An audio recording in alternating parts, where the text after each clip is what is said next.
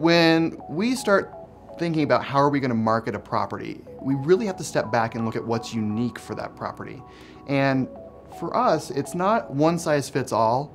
We want to make sure we're picking out and selecting marketing pieces that are going to highlight the, the best features of these properties. We kind of like to figure out what's important to the seller. Um, and we try to make this a good working relationship as far as expectations go. We have like a 175 point checklist of what to do to make your home show ready and for you to net the most money possible. It's a pretty robust plan. It's not just taking a photo with our, you know, with our iPhone when we're in the property and then putting it on the MLS and hoping it'll sell in this crazy market. Uh, it's, you know, putting together HD quality photos. We have a 3D walkthrough tour through a camera that's called Matterport that our company owns. One of the things that I think is really wonderful in our pamphlet of that is we really do give our sellers some options if we have an investor.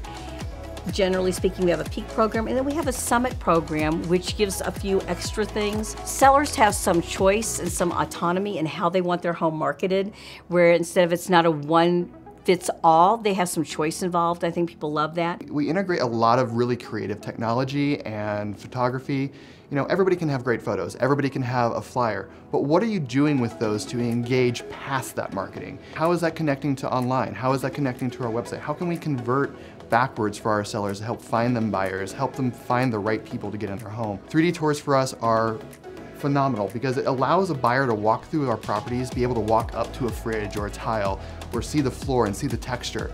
And that's something that you don't necessarily get from online photos. The amount of exposure that a property needs is absolutely endless in this market. So I think one of the last pieces that's super important for a seller to understand is it's not necessarily all about the marketing. It's not about how your home is being perceived or seen online. It's what are we doing with that information? How are we being able to convert that into something that is meaningful to get your home sold for the top dollar? If there's one thing that I want our sellers to know is that we really truly do care. So everything that we're doing has a purpose and a meaning behind it, and we're here to walk you through that entire process step by step.